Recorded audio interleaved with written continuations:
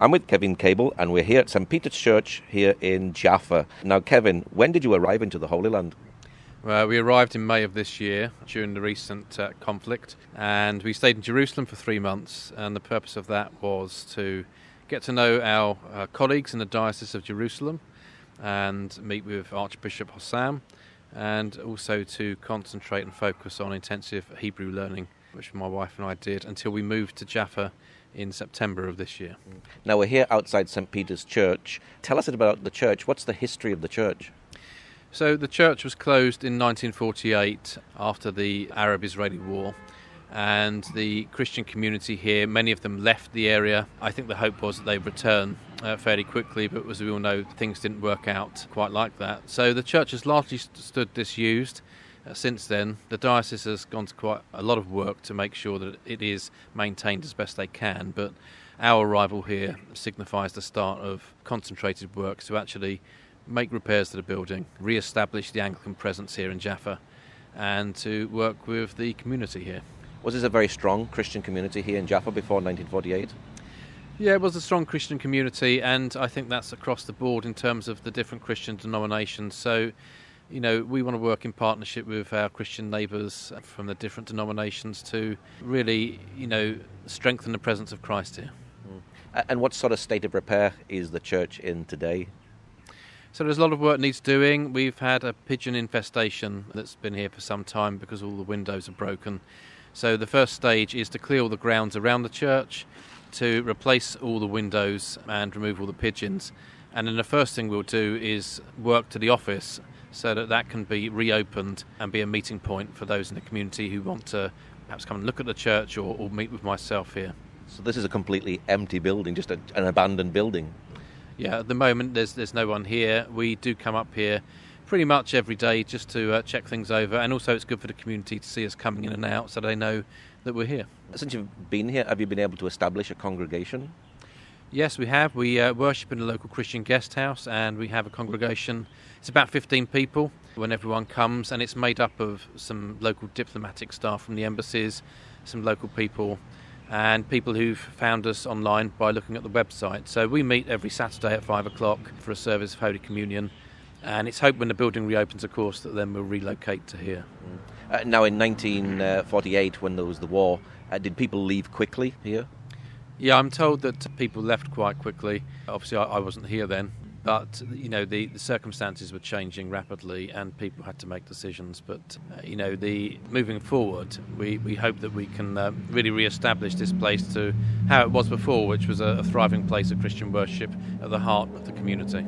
What's been the biggest challenge of renovating this place? I think there's fundraising first of all because you know COVID has impacted people across the world, especially financially. So um, you know we've got to raise the funds for the repairs, and also there is such a lot of work that it's been about careful planning of where we start and what we focus on first. So now the grounds have been cleared, which was a huge challenge. Actually, the community can see that something's going on here. Mm. But it really, the next stage will be those windows and making sure they're done so we can get rid of the pigeons because of the damage they've caused. Which, you know, I know people here, oh, oh there's some birds in the church and think, well, that's not a lot of. Uh, lot of a problem, but actually it's a huge problem because of the the damage that they do cause. So we need to get them out. You were telling me that you'd already put windows in. What happened there? So I understand there were some windows put in, but the pigeons found their way in again. There was also some vandalism. So this time they'll be putting in some uh, extra strong glass that will stop that happening again. Mm. Have you found anything interesting while you've been cleaning up here?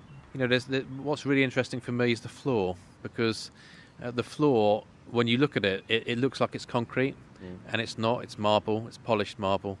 And if you take off that top layer of dust and uh, dirt that's accumulated over the years, you can see how beautiful this place was. Yeah. You've also got some of the original ironwork that went above the gate, a lovely cross, and just little things you find prayer books, Bibles.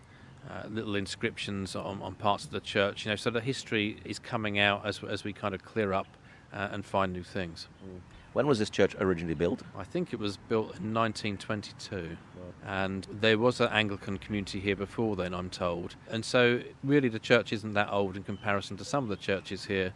But you know, it's it's certainly I think one of the uh, most beautiful Christian places of worship that that you will find in the Holy Land once it's restored. You know, it's a lovely design, it's a simple design, but it's very elegant as well. It's sad because it's not long after it was built the war came and everybody fled.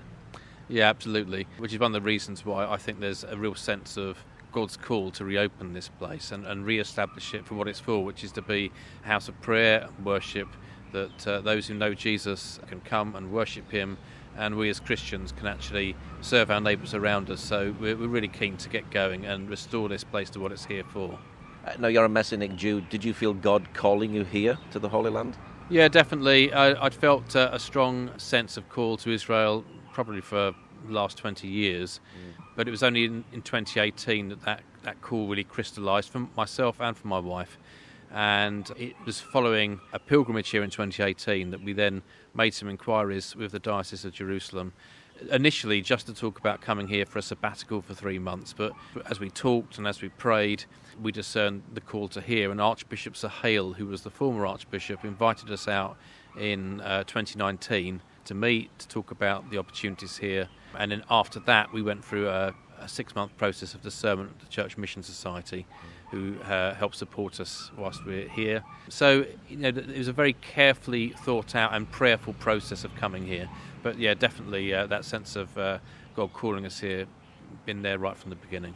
Was it a challenge to come here, and what did people think of you coming here to the Holy Land? I think in some senses people weren't, weren't surprised because they knew I had a passion for the Holy Land. Obviously, they knew about my Jewish background, and you know, I'd learnt some Hebrew whilst uh, in the synagogue and also over the years. And uh, you know, first century Christianity and, and the history of Christianity in that period is, is something I really enjoy looking at and studying. So people knew there was that sense of connection.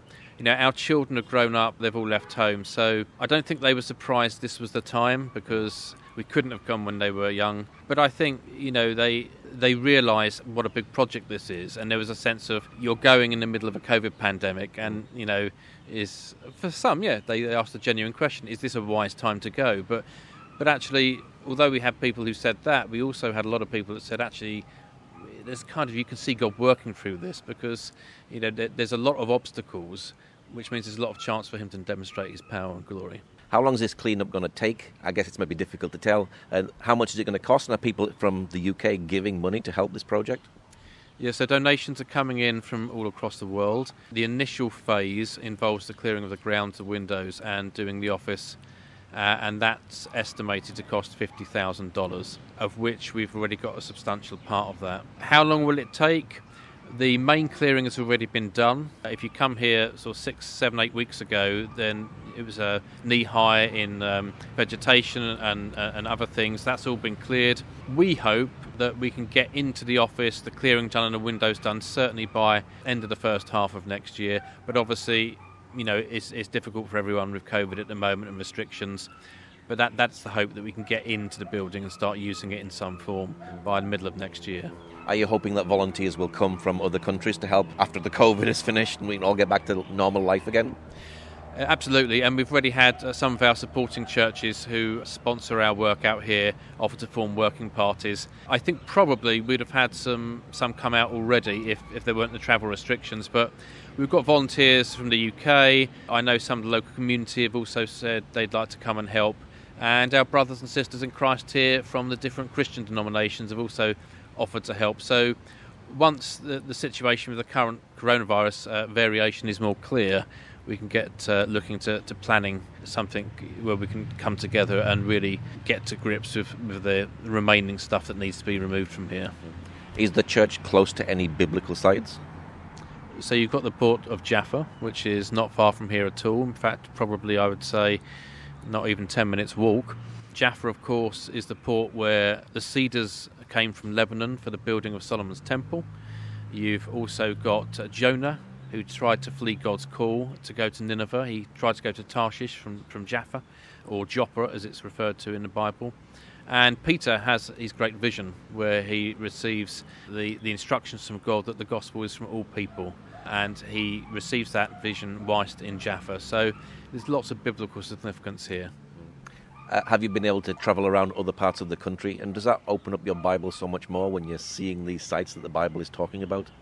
Absolutely. I, I, think if anyone has the opportunity in the future, COVID permitting, to come to, to, to do a pilgrimage to Israel, uh, Palestine, it's, it's so worth doing because you get to picture in your minds and see, you know, the, the sites, the wilderness of Judea, you know, the, the Judean foothills, the Sea of Galilee and the area around there. We realise every day how, how blessed we are to be here when so many people would like to come and are unable. Mm. And so we try and do some video updates for friends, family, and supporters of, of places so that they can share our time here. But I think my favourite place, probably so far, is Galilee. It's just so peaceful and quiet, and so much of Jesus' ministry took place there that it's really worth coming to see. At the little congregation that you've established, is it local Arabs? Is it Arabs, Jews? Who is there?